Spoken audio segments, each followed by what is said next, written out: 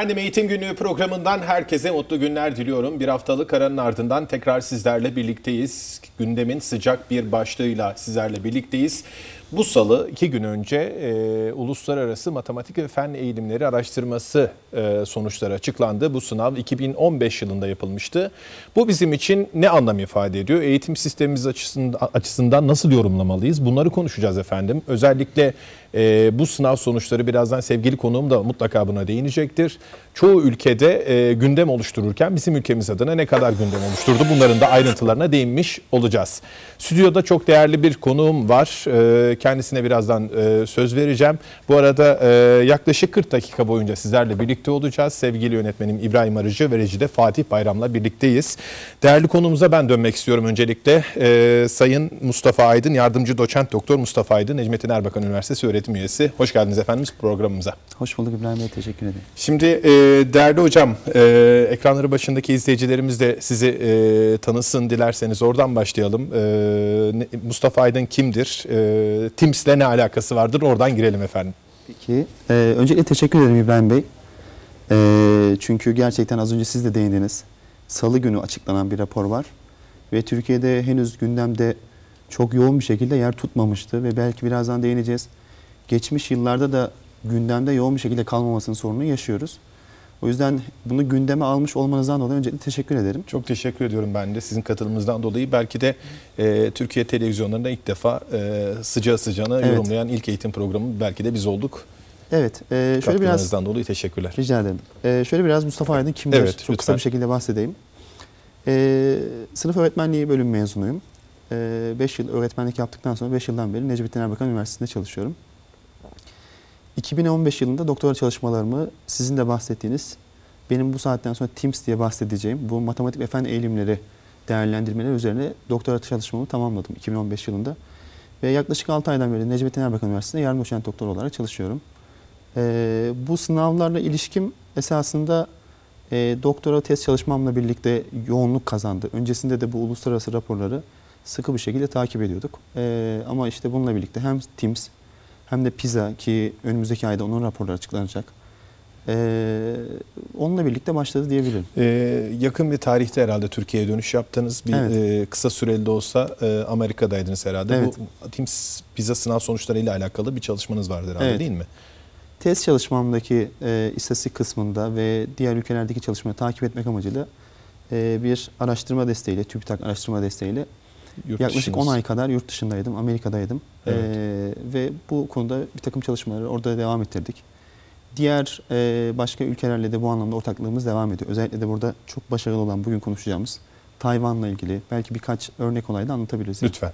Ee, bu arada e, sizin tezinizdeki sonuçları da e, özellikle e, programın sonuna doğru hı, sizden lütfen e, almak isterim. Tabii. Şimdi e, tabii ki ekranları başındaki izleyicilerimiz e, için bir daha hatırlatalım. KJ'de de görüyorsunuz TIMS yazıyor.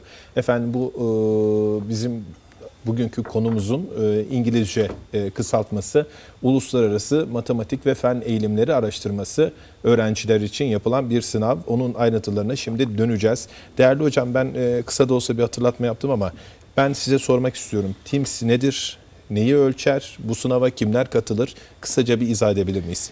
Ee, öncelikle hemen biraz bahsedeyim. TIMS'i yapan kuruluş e, uluslararası eğitim alanında e, Uluslararası Öğrenci Başarıları Değerlendirme Kuruluşu diye Türkçesini böyle kısalttığımız Evet. e, IEE şeklinde de isimlendirdiğimiz bir kuruluş. TIMS'i bu kuruluş yapıyor ki bu kuruluş 1960'tan beri bu ve benzeri sınavları yapıyor. Ki ilk çalışmalar 1960'da UNESCO ile birlikte başlamış. Ve bu çalışmalarla birlikte e, TIMS e, TIMS formatına değil ama IEE birçok değerlendirme yapmaya başlamış. İlk başta tabii 7-8 ülkeyle 7-8 sınav yapılmış. Ancak bugün konuşacağımız TIMS sınavı dediğimiz 1995'ten bu yana yapılıyor. Evet. Ve 1995'ten bu yana yapılan bu sınavda bugün 20. yıldayız. Yani bu rapor aslında TIMS açısından da çok önemli. Çünkü TIMS'in 20. yılı olmuş oluyor. 1995'te başlayan bu sınav e, bugün 2015'te ilk raporuyla e, oldukça üstün bir düzeye gelmiş oldu. TIMS neyi ölçer dediğinizde açıkçası TIMS e, öğrenci başarılarını program tabanlı bir şekilde değerlendirmeye çalışıyor. E, ve e, burada baktığımızda öğrenci başarılarının geniş ölçekli değerlendirildiği sınavları aslında kamuoyundan hatırlıyoruz. Bunlardan çok yaygın duyduğumuz bir başka sınav var. PISA. Evet. PISA ve TIMSS esasında geniş ölçekli değerlendirme diye bahsettiğimiz sınavlardır. Geniş ölçekli Evet. değerlendirme. Nedir efendim geniş ölçekli değerlendirme? Aslında geniş ölçekli değerlendirmeler toplumun birçok alanına ilişkin yapılıyor. Literatürdeki tanımı şöyledir. Belli bir ö- alana özgü bilgi, beceri veya davranışları inceleyen, bunları geniş ölçekte ele alan sınavlardır. Eğitim açısındaki eğitim tarafındaki tanımına baktığımızda öğrencilerin öğrenmelerini geliştirmek adına Hı. e, eğitim öğretime yönelik farklı ülkelerden bilgi toplamayı ifade Hmm. eder geniş ölçekli eğitim değerlendirmeli.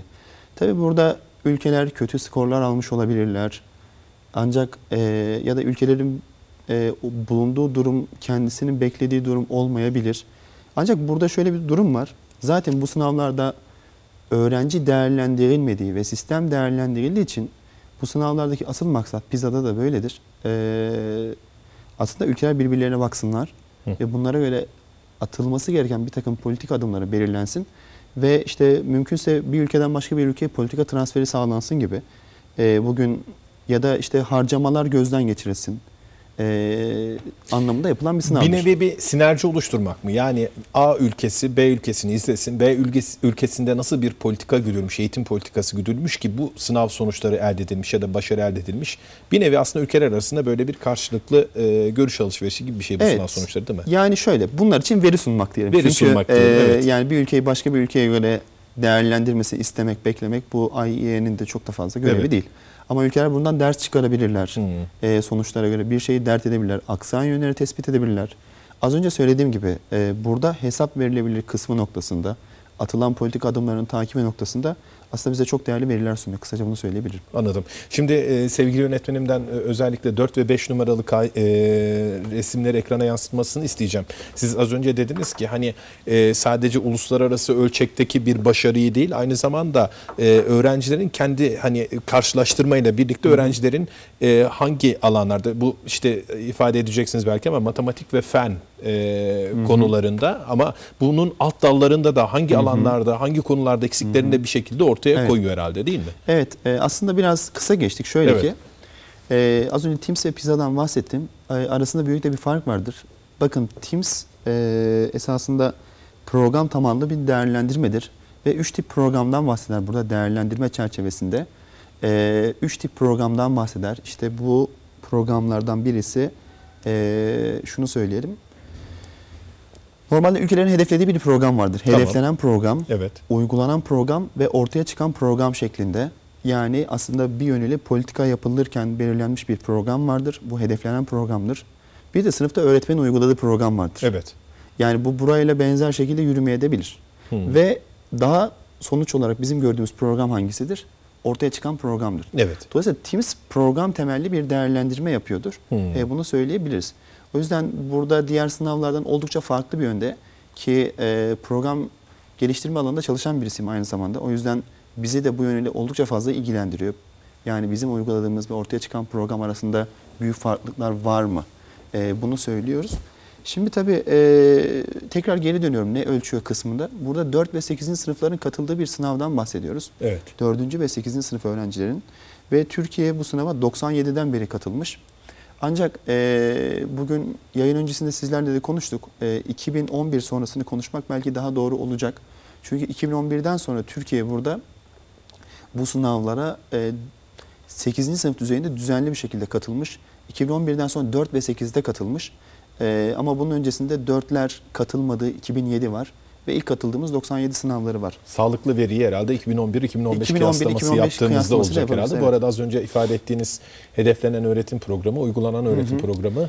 Şimdi buraya bakarak bir Evet. şeyden daha bahsedebiliriz. Lütfen, Bakın, lütfen. e, Bu burada- önemli bizim için çünkü. Evet, burada bir şey daha var. Evet. Bu bize aslında verilerin kaynağıyla ilgili ipucu veriyor. Şöyle ki, şimdi burada hedeflenen programa baktığımızda, hedeflenen program daha çok bir program yetkililerini ve ülkede uygulanan politikaları ilgilendiriyor. Dolayısıyla e, bir değerlendirme yapılacaksa hedeflenen program da değerlendirilir aslında. Hmm. Çünkü Mesela bu, bu- buradaki ülkede uygulanan matematik programı değerlendiriliyor şu an değil mi? Evet. Bu şeyle e, sınavla birlikte aslında matematik anlamında nerede olduğumuzu gösteriyor. Yani matematikte ne yapıyoruz, hangi konuları Evet. işliyoruz, ne kadar ödev veriyoruz gibi e, ya da ne kadar öğretime zaman ayrılıyor. Bakın bunlar programda yer alan şeyler zaten baktığımızda. Dolayısıyla verilerin bir kısmı program yetkililerinden toplanmış oluyor. Yani okullardan, e, programla ilgili ulusal düzeyde karar verici mekanizmalardan. Yani bu Toplanmış. başlık bizim için önemli çünkü buradaki çerçevelere göre veri toplanıyor. İkinci bahsettiğimiz kısım e, uygulanan program. Uygulanan programda siz de bir öğretmen olarak bileceksiniz ki hocam işte bir öğretmen-öğrenci ilişkisi var. Dolayısıyla o çerçevede sorulan sorularda öğretmen-öğrenci ve öğretim sürecine yönelik sorular. Okul iklimini e, Okul iklimine yansıtan yönelik değil sorular. mi? Evet. onlar var. Yani aslında bu bahsini ettiğimiz ve şu an ekranda olan bu çerçeve hem TIMS'in bir program temelli değerlendirme olduğunu daha iyi özetliyor. Evet. Hem de baktığınızda verileri kimden elde ediyor. Ve son olarak ortaya çıkan program dediğimizde burada işte öğrencinin elde ettiği başarılar, başarı durumudur. Ee, böylesi bir çerçevede işleyen bir sınavdan bahsediyoruz. Peki e, tam da başarı demişken e, ekrana sevgili yönetmenim bugün biraz üzeceğiz kendisini. Çok e, böyle e, grafikler var aslında da hepsini yansıtmak da hani istemiyoruz. Genel sonuçları isteyelim biz e, sevgili yönetmenimizden.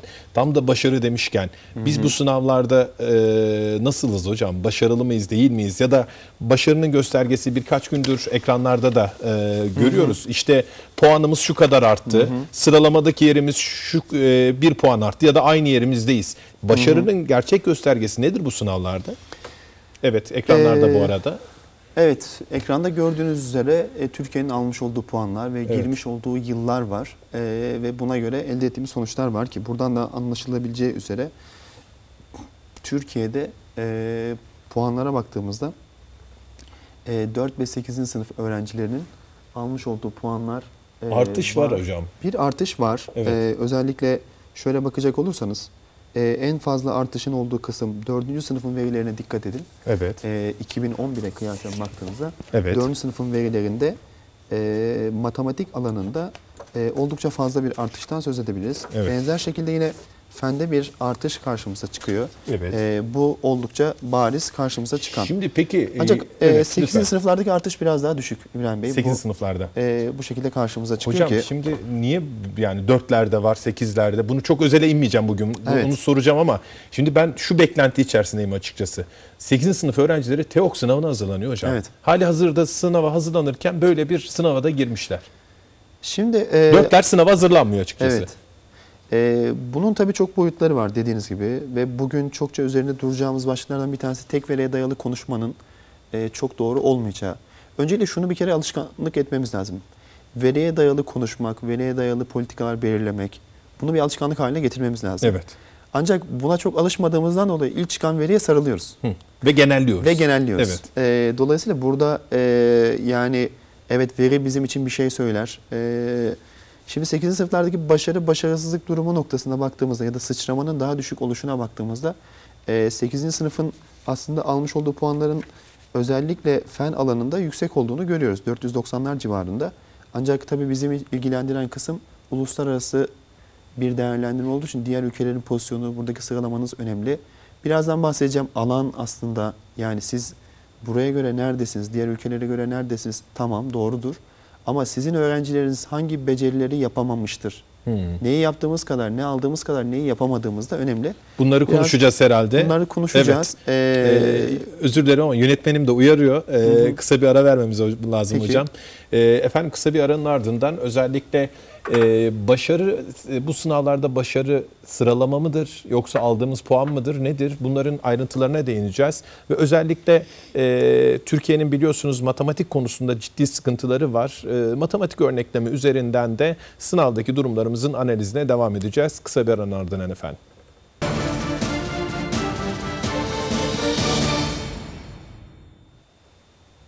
Efendim kısa bir aranın ardından tekrar sizlerle birlikteyiz. Ekranlarını yeni açan izleyicilerimiz için hatırlatalım. Bugün TIMS sınav sonucunu e, konuşuyoruz.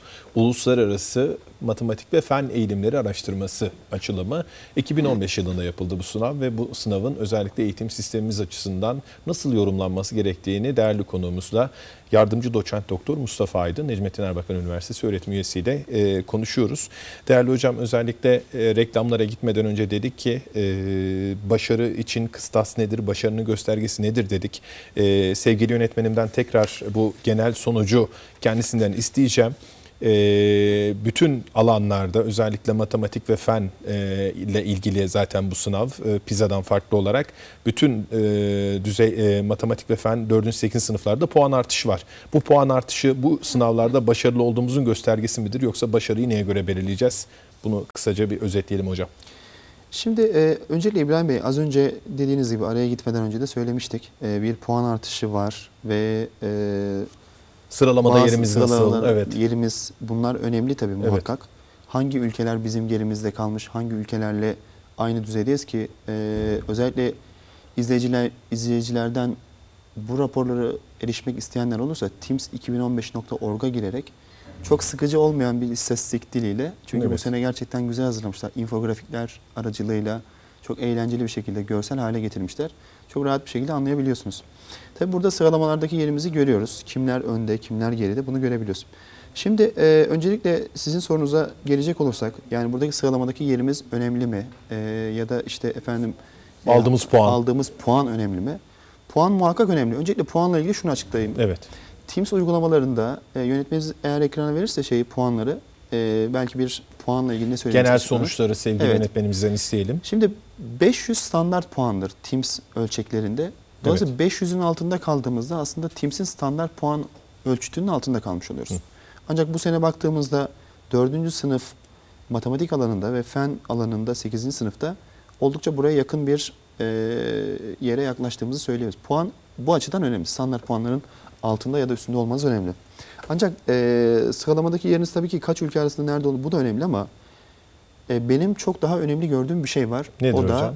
şu, e, sizin burada tanımlanmış yetenek alanlarındaki öğrencilerinizin yüzdeliğinin fazlalığı ya da azlığı. Hmm. Şöyle ki, e, ideal bir sınavda öğrenciniz çok başarılıysa şunu beklersiniz. E, yanlışlarının az olmasını ya da efendim e, düşük düzeyde ya da gelişmiş bir ülke açısından, başarılı bir ülke açısından bu nedir diye baktığımızda alt düzey hatta alt düzeyin altındaki öğrencilerinizin az olmasını, üst düzeye yakın öğrencinin çok olmasını beklersiniz. Eğer e, mümkünse yönetmenimiz bununla ilgili de bir grafiğimiz vardı. Evet, Bunu 3 verebilirse numaralı e, düzey grafiğimizi matematik dersi e, için Ha, evet. 8. sınıflar hangi düzeylerde Türkiye için bunu ekranlara yansıtabilirsek sevgili yönetmenim onun üzerinden konuşmamız daha kolay olacak. Aslında İbrahim Bey şöyle bir Evet. durum var. E, 4'te, 8'de tabii ki bununla ilgili çok veri var. Bugün bizi izleyenler açısından kafayı bu verilerle çok karıştırmaya gerek yok ama bir de güzel bir şey var. Standart bir sınavdan bahsediyoruz ve bu sınavda da e, 4'lerde, 8'lerde baktığınızda e, bunlar e, benzer şekilde bir benzerlik arz ediyor. O yüzden feni de konuşuyor olsak, 4'leri de konuşuyor olsak bu yüzdeler genellikle benzer. Tam ekran verebilir miyiz sevgili yönetmenim? Evet, Evet, ekranlara da yansıdı. ekranda yansıyan kısma baktığımızda Evet. şunu söyleyebiliriz. Ee, İbrahim Bey burada 5 tane Ee, düzey var hocam. aslında 5 düzey yok. Evet. Ee, şöyle söyleyeyim. Teams'in orijinal e, sayfasında baktığınızda 4 düzey var. Ve bu 4 düzey alt düzey, orta düzey, üst düzey ve ileri düzey. Evet. Ancak e, bizim öğrencilerimizin hatırı sayılır bir kısmının alt düzey altında yer aldığını görüyoruz. Alt düzey 6. Evet bu tabloda öyle gözüküyor. Hmm. O normal hocam. e, Teams değerlendirmesinde alt düzey 6 var mı? Şimdi alt düzeye yazmışlar tabii Evet. ama alt düzeyin altında kalanlar her ülkede tabii ki belli bir oranda var. Bunlar dezavantajlı Bunlar öğrenciler. e, başarısı düşük ya da işte bu sorulara ileri düzey performans bu sorularda ileri düzey performans göstermemiş öğrenciler. Evet. Şimdi e, buraya bakacak olursak e, Türkiye'de e, biraz iyimser bir yorumla şunu Evet. söyleyebiliriz. Alt düzeydeki öğrencilerimiz özellikle alt düzey altındaki öğrencilerimiz bunu Evet. söylemem daha doğru olacak. Alt düzey altındaki öğrencilerimizin 2015 sınavlarında baktığımızda daha da azaldığını görüyoruz. Ama çok düşük bir art- Bu düşük azalma. bir azalma Evet. ve dediğim gibi aslında e, Türkiye'de alt düzey altında e, yanlış e, biraz ekran uzak ama %30 civarında bir sayı görüyorum. Evet. E, ve bu gerçekten hatırı sayılır bir oran. E, yani %30. %30 civarındaki öğrenciniz henüz sistemdeki o var olan yarışa dahil olamamış. Hmm. E, bu 8. sınıflarla ilgili baktığımızda. Evet. E, yani %70 civarında e, bir e, alt düzeye ulaşmış öğrencimiz var. Elimdeki tablolardan bakmak yine işimi biraz daha kolaylaştıracaktı. Şimdi e, yine o tablo ekranda kalabilir. E, şöyle söyleyeyim. Şöyle bir kıyaslama yapabiliriz. Başarılı ülkelerde hocam bu oran nedir dediğimizde mesela bir Singapur'u konuşacak olursak Singapur'da alt düzey altında kalan öğrenci sayısı %1 hocam. Yüzde bir. Evet. Şimdi ben özellikle bakıp şöyle bir yorumlayacağım. Ee, gerçekten oran yüzde Yüzde otuz. Evet. evet. 41, 33, 30'a düşmüş Evet. en son. Onlarda diyorsunuz ki yüzde birlerde. Ya da bu sınavda çok başarı gösteren ki 8. sınıf matematik bu yıl enteresandır. Onunla ilgili bir şey daha söyleyeceğim ileride. Evet. Ee, mesela Tayvan Evet. yine çok başarılı ülkelerden bir tanesi. %97'si burayı geçmiş. Yani, Yani yüzde üçlük. %3'ü burada Hmm. kalmış. Bizimki biraz e, şey gibi hocam yani üst düzeyimizle onların alt düzeyleri eşit gibi sanki. Yani eğer bakarsanız o şekilde üst düzeyimizde de çok az. gerçekten evet e, bizim üst düzeye ulaşan öğrenci sayımız baktığınızda işte yıllara göre %5'ler 6'lar civarında. Bu Evet. yıl için 8. sınıflarda 6'lar. Ancak isterseniz size en başarılı olan listenin üst kısmındaki Lütfen ona söyleyeyim. ona bakalım. Singapur'da %54 düzeyindeki öğrenci ileri düzeyde performans göstermiş. %54. %54'ü buraya kadar ulaşmış öğrenci. Hmm. Bizde yüzde şu Yüzde an altı. 6. Evet. Yüzde 6. Evet. Keza Tayvan %44 düzeyinde buraya ulaşmış. Evet. Şimdi evet şeye tekrar Yani geri to- dönecek toparlayacak olursam. olursak nedir hocam? Yani düzeylerden olursak- çıkaracağımız şey ne yani bizim? Güzel. Başarının kıstası düzeyler mi sizce? E, aslında düzeyler neyi ifade Evet. ediyor sorusu belki daha önemli bir şey dediğiniz gibi. Düzeyler şunu ifade ediyor e, İbrahim Bey. Yani burada ileri düzey dediğimiz sorular ya da ileri düzey alanlar sizin işte öğrencilerinizin e, üst düzey kazanımlara sahip olması. Yani e, biraz daha anlaşılır şekilde bir programcı diliyle değil de biraz daha anlaşılır bir şekilde söylersek öğrencilerinizin işte mantıksal çıkarımının fazla olması, Akıl üst yürütme akıl yürütmesinin, eleştirel düşünme becerilerinin fazla olması, bunları rahatlıkla yerine getirebiliyor olması anlamına geliyor. Dolayısıyla e, ileri düzey yani üst düzey ya da ileri düzey dediğimiz bu performans e, aslında ülkedeki inovasyona varana kadar birçok alanı etkiler. Şimdi listenin başındaki ülkelere baktığımızda bu da çok şaşırtıcı olmuyor zaten. Singapur, Tayvan, Kore, Hong Kong. Hmm. Japonya. Japonya. Yani bu zaten bu ülkelerin bugün dünyada aldıkları patent sayısına baktığınızda dünya ekonomisine yaptıkları katkılara ve işte ortaya koydukları işte Tayvan'a baktığınızda mikroçiplerle ilgili çok önemli bir ülke. E, Japonya keza işte birçok markası dünya kapsamında e, dünyada bilindik alanda. Dolayısıyla aslında bu üst düzey ya da işte ileri düzey alan dediğimiz işte bize bunu gösteriyor. Yani burada %50 düzeyinde öğrenciniz varsa aslında Siz e, özellikle teknoloji alan- alanında bir çığır açabiliyorsunuz. Yani teknolojiyi indirgemek, İnovasyon diyelim inovasyon artık, değil mi? belki evet, Evet. birçok başlıkta e, yani yeni ürünler, yeni tasarımlar işte toplumda belki belirli bir gelişmiş seviyesi, gelişmişlik seviyesine ulaştığınızın da göstergesi. Ben E, bu e, noktada bir şey söylemek istiyorum. Şimdi TEOK'taki sınav e, sorularıyla bu tim sınavındaki soruları karşılaştırdığımızda belirli sorular belki eşleşebilir ama e, TIMS'teki sorular nasıl hocam? Yani burada bir giriş yapmam lazım çünkü bir yere geleceğim. Yani e, TIMS'teki sorular e, kalite olarak TEOK sorularıyla karşılaştırdığınızda örneğin. Şimdi e, güzel e, raporların arkasında güzel bir şey var. E, normalde bu testlerde ya da bu uygulamalarda sorular tümüyle paylaşılmaz. Belli bir oranda paylaşılır. Çünkü soruların biz geçerlilik güvenlik analizi yaparak bunlardan bir kısmını önceki seneki sınavla sonraki sınav arasında bir eşleştirme aracı olarak kullanırız. Hmm. O yüzden e, burada baktığınızda e, sorular yayınlanan sorulara baktığımızda Hocam sorularda şöyle bir şey var öncelikle. İşte bilme düzeyinde ve 525 puan aralığında alan öğrencilerin yaptığı sorular. Hmm. Yani soru zaten aslında daha önce test edilmiş. Bizim e, biraz istatistiksel dilde olacak ama madde tepki kuramı çerçevesinde bunlar ele alınmış ve işte soruların geç yani soru aslında yetenek düzeyinde yazılmış. Hmm. Şimdi bizim Yetenek düzeyinde yazılmış. Evet bu çok önemli. Anladım. Yani sorular kazanımlara göre değil yeteneklere göre yazılmış. Hmm. Dolayısıyla bunu yapan çocuklar zaten ileri yetenekli çocuklar olarak tanımlanıyor zaten Evet. aslında. Yani e, sorular yetenek düzeylerine göre tanımlanmış. Peki bu dediğim gibi nasıl sağlanıyor? Bu madde tepki kuramı işte daha önceki bir takım analizler çerçevesinde bunu yapmak mümkün oluyor. Dolayısıyla bizim TEOK'ta e, ya TEOK da- soruları çok basit hocam. Yani Evet. bunu konuşunca e, biz neden mesela bu tarz soruları sorsak çocuklara bu sınavlarda daha mı başarılı Güzel. olur? Ee, aslında e, isterseniz şöyle bir şey yapalım hocam. Evet. Bir değerlendirme çerçevesi var. Ee, böyle bir şeyimiz vardı. Ekrana verebiliriz. Ee, değerlendirme Evet. için kullanıldığı bir chartlar vardı. Evet. Yani sizin bu söylediğinizde aslında sınavlarla ilgili değerlendirmemiz nerede kalıyor buna bakalım.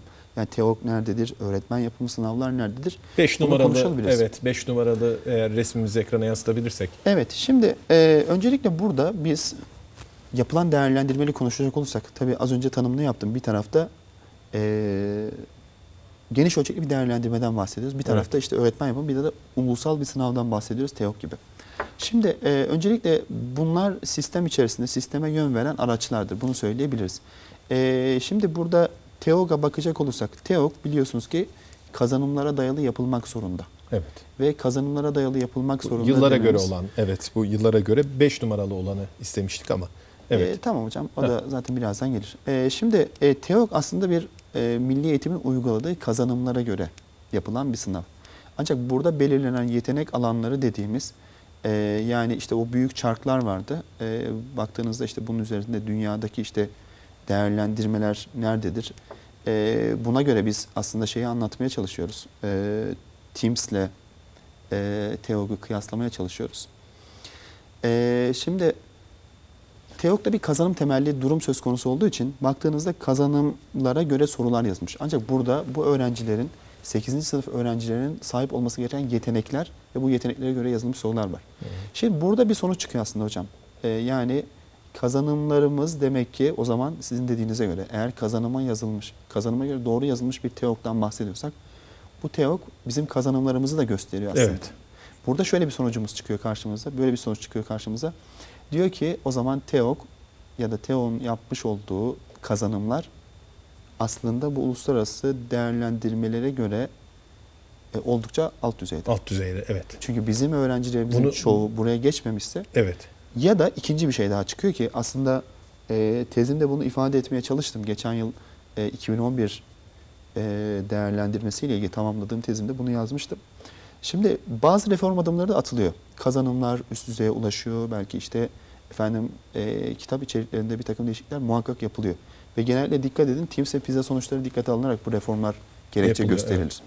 Yani o yüzden de önemlidir tabii. E, şimdi bu yapılan reform adımları kazanımları yalnızca bir üst düzeye çıkarmakla olacak şeyler değildir. Hı hı. Sınıf içerisindeki etkinliklerde gerçekten bu kazanım üst düzeyde gerçekleştiriliyor mu? Yani bir öğretmenimiz gerçekten öğrenciye acaba eleştirel düşünme becerisi kazandıracak bir etkinlikte tarih dersini işliyor mu?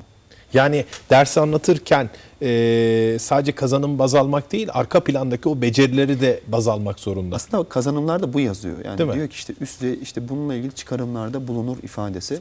Ama siz bir tarih sınavında eğer sorduğunuz soru sadece bu olay nerede kimler arasında oldu derseniz bu bilme düzeyindedir. Evet. Ama kazanım size diyor ki bu olayla ilgili çıkarımlarda bulunur diyor. Şimdi çıkarımlarda bulunacak bir birey başka bir etkinlik göstermesi ya da bu sınıftaki öğrenme öğretme süreci farklı şekilde işlemesi lazım. Kesinlikle. O yüzden TEOG'daki sorular böylesi bir nitelikteyse öğrenci için basit gelecektir. Ya da daha üst düzey sorular yazıldığında sınıf içi öğretim buna göre yapılmadığı Zamanda zaman aslında baktığınızda o zaman yine bir başka sorun olacak. çelişki Yani olacak. biz bugün sorularımızı okul içi değerlendirmelerimizi direkt olarak Teams gibi yapsak uçar mıyız hocam? İşte ben de onu merak Uçmayız ediyorum. hocam. Uçmayız. Uçmayız. Yani illaki bu bu şekilde olması gerek yok. Şimdi peki hocam sonuçları e, şöyle bir değerlendirelim. Şimdi neler çıkıyor? Okul iklimi açısından neler çıkıyor? Öğretmenler açısından neler çıkıyor? Öğrenciler açısından neler çıkıyor? Siz dediniz ki önemli olan e, ileri düzeydeki öğrenci sayısı ne kadar fazla olursa biz bu sınavda başarılı oluruz. Alt düzeyden kurtarabildiğimiz kadar kurtaralım Yani dediniz. dediğim gibi veri Evet. yalnızca bir veriye bakarak derken aslında başta bunu da söylemiş oldum. Yalnızca biz eğer e, sıralama verisine bakacaksak, Türkiye ile ilgili böyle karar vereceksek yanlış karar veririz. Hmm. O yüzden bakın bu söylediğim yani bu düzeylere göre karşılaştırma ki gerçekten Türkiye için hala ciddi bir sorun alt düzey altı öğrencilerin çokluğu. Yani 400 puana ulaşamamış öğrencilerimizin çokluğu. Bu PISA'da da benzer şey var ki PISA ile ilgili bir programda da yine bunu konuşabiliriz Lütfen. tabii. Ee, yani alt düzeydeki yani iki bağımsız kuruluş benzer bir e, bağımsız bir değerlendirme yapıyor ve benzer e, sonuçlar buluyorsa bu bizim için bir soruna işaret ediyor aslında. Yani ben gerçekten dediğim gibi Tarafsız değil mi e, bunlar? Evet. Tabii. Gerçekten dediğim gibi bu dediğiniz kısmı önemsiyorum. Lütfen. Ee, tekrar e, bu öğretmen öğrenci kısmına dönecek olursak. Evet. Mesela biz e, özellikle ülkede şu sıralarda eğitim sistemimizin tartışmaları konuları var. Mesela ev ödevleri, ders saatleri, yine e, sınıf mevcutları. Bunların üzerinden konuşuyoruz. E, bazı okullarda sınıf mevcutları çok fazla. Bu sınav sonuçları bunlar için bir e, bir şeyler söylüyor mu bizim için? Şimdi e, İbrahim Bey aslında Evet. Başta gerekli vurguyu yaptık ama ben bir şeyi hemen hatırlatmak istiyorum. Evet. Diyorsunuz ya kamuoyunda şu anda işte bunu konuşuyoruz, tartışıyoruz ama neye göre tartışıyoruz, hangi veriye göre tartışıyoruz bilmiyorum. Ee, bunlar gerçekten bir veri de, veriye dayalı konuşuluyor mu? Öncelikle şunu yeniden hatırlatmakta fayda var. Biz bu sınavları uzun müddetçe gündemde tutmak zorundayız. Biz ne kadar fazla gündemde tutarsak veriye dayalı gerçek sorunu görerek bir reform adımı atabiliriz. Bunu söylemekte fayda var. Hemen bununla ilgili bir örnek anlatayım eğer Lütfen. vaktiniz uygunsa. Bakın şöyle bir örnek söyleyeyim. E, literatürde de bu geçer. E, 1996-97'de ki o yıllarda TIMS'in ilk yapıldığı yıl e, yani 95'te yapılmış ve 96-97'de yine birden çok yıl sürmüş. Almanya literatürüne girmiş TIMS şoku diye bir kavram var. Hmm, Teams şoku. TIMS şoku evet. Yani çoğu ülke şok yaşamış öyle mi yani? Yani, evet. e, şöyle bir şok. Almanya bu sınavda oldukça düşük not almış evet. ve e, mecliste günlerce konuşulmuş. Hmm. Ve bu e, bunun neticesinde de bir takım reform adımları atılmış ve o reform adımları literatüre ne diye girmiş biliyor musunuz? Nedir? E, Teams sonrası, after Teams. Çünkü 2000'de pizza ile ilgili de yaşamış. Hmm. After pizza diye geçmiş Ha, mesela. Teams'ten önce, Teams'ten sonra. Evet. Yani bu kadar literatüre girecek ya da ifadelere yerleşecek kadar bir e, şey olmuş. Bunu söyleyebiliriz. Tekrar e, hemen e, dediniz ya gündemde bunu nasıl tutarız? Bu bize sınavla ilgili neler söyler? Hemen şöyle bakacak olursak e, vaktimiz var mı bilmiyorum ama 5 dakikamız var. Hemen, e, onları hemen e, çok hızlı bir şekilde bu raporlardan mevcut raporlardan elde ettiğimiz sonuçları öğrenci ve öğrenci açısından bakacak olursak öncelikle hocam direkt belki sonucu da bir arada söyleyebiliriz. Lütfen. E, cinsiyet merak edilen konular arasında dünya üzerinde baktığınızda dünya üzerinde birçok ülkede ve TIMS ortalamasına baktığınızda cinsiyet cinsiyete göre bir ayrımdan e, mantıklı ya da e, istatistik anlamda bir Ama sınavda sanki kızlar daha başarılı Evet. gibi bir lanse edildi Ee, ama. çoğu yerde daha evet. başarılı gibi gözüküyor. Ancak Evet. bunlar istatistik anlamda görülmemiş. Evet. Ama ben gerçekten önemli gördüğüm şeylerden birkaçını buraya sıraladım. Lütfen. Bunlardan bir tanesi evdeki eğitim olanakları. Hı. 2011'de kendi test çalışmamın sonunda da eklediğim bu bulgular benzerlik gösteriyor. Bakın öğrencilerin evdeki eğitim olanakları fazla olması durumu öğrenci başarını oldukça etkilemiş. Ee, sayılara boğmak istemiyorum ama şöyle söyleyeyim. Hı. Türkiye'de evdeki eğitim olanaklarının yeterli olduğunu söyleyen öğrenci yüzdemiz %7 Hı. ve bunların ortalaması 575. Türkiye'nin 8. sınıf matematik ortalamasının oldukça üstünde. Yani Evet. 458 olan matematik puanına baktığınızda 575 oldukça yüksek. İşte bu kim? Eğitim olanakları. Evdeki eğitim olanağı fazla Evet. olanlar. Ee, evdeki eğitim olanağı yetersiz olanlar ki %40 oranındaymış bizim eğitim sistemimiz açısından. Bu da 415'te gözüküyor. Hmm. Doğrudan ilişkili diyebilir miyiz hocam o zaman? Ve evet diyebiliriz çünkü diğer ülkelere de baktığımızda benzer sonuçlar var. Yani Hmm. evdeki eğitim olanakları fazla. Hemen hızlıca evdeki eğitim olanakları verisi nedir? Bundan Nedir? biraz Evet, Evdeki eğitim olanakları aslında bir indeks verisidir. Yani anne ve baba eğitim düzeyleri, evdeki kitap sayısı ve çalışma masanızın, çalışmaya göre bir ortamınızın varlığı, yokluğu durumu. Bu evdeki eğitim olanaklarıdır. Şu da var mı anne babanın kaygısı da? Bu olanakların yok, bu içerisinde. Kısmı, bu yani. kısmı yok. Bu bir olanak sayılmaz belki ama Yani. ama anne babanın zaten eğitim düzeyiyle böyle bir kaygıda e, benzerlik arz ediyor. Evet. Bunu söyleyebiliriz. Evet hocam. Hemen ikinci bir şey daha söyleyeyim. Lütfen. E, dördüncü sınıflarda mesela matematikte sorulmuş ve fende de soruluyor tabii. Erken okuma yazma, sayısal işlemleri. Hmm. Yani bu bir anlamda okul öncesi. Çünkü şöyle bir veri de var. Okul öncesi eğitime katılım da var. Hmm. Dördüncü sınıflara baktığımızda bu erken eğitim öğretime dahil olanlar ya da okul öncesi eğitim alanlara baktığınızda bu öğrencilerin e, almayan öğrencilere göre oldukça yüksek düzeyde bir başarı gösterdi. Hmm. Rakamları boğmak düzey- istemiyorum evet, o yüzden lütfen. yüksek Anladım, diyorum lütfen. hocam. Evet. E, yani e, dolayısıyla bir e, erken okuma yazma okul öncesi ki bakın Türkiye'de 2019'da ref- atılacak reform adımları arasında gözüküyor. Zorunlu bir okul öncesinden bahsediyoruz ki bu gerçekten bunun gerekliliğini Gösteriyor, daha değil mi? önce de söylüyordu, şimdi de söylüyor. Evet. E, bu öğrenciler için önemli verilerden bir tanesiydi. Öğrenciler için aslında gözümüze çarpan çok önemli verilerden bir tanesi e, öğrencinin duyusal özellikleri. Peki öğrencinin duyusal özellikleri dediğimiz nedir? Öğrencinin özgüveni. Evet. Ki en bariz veriler arasında özgüveni yüksek olan öğrenciler tüm dünya ülkelerinde daha başarılı olan öğrenciler. Hmm. Biz bu alanı çok ihmal ediyoruz aslında. Evet. Ya da özgüvenini kırıyoruz öğrencilerin. Öğrencinin Evet. e, yani hocam sınıflara baktığımızda belki bir iki başarısızlığından dolayı artık bu işe kırılmış, bu işe güvenini kaybetmiş öğrencilerimiz var tabii ki. Ya da daha yolun başındayken vazgeçtiğimiz öğrenciler var ki bu o öğrenci için de büyük bir Hmm. özgüven sorunudur. Derse olan ilgisi Evet. e, ve derse değer verme, matematik değerli olup olmaması e, ya da işte fen dersi değerli olup olmaması bu öğrenciler için önemli bir veri olarak karşımıza çıkıyor. Şimdi öğrenciyle ilgili ve öğrencinin derse aktif katılımı. Hmm. Bu iki veri raporda Evet. da çok bariz bir şekilde yazılmış Bu iki veri yani özgüvenle derse katılım, e, engagement diye geçiyor işte literatürde.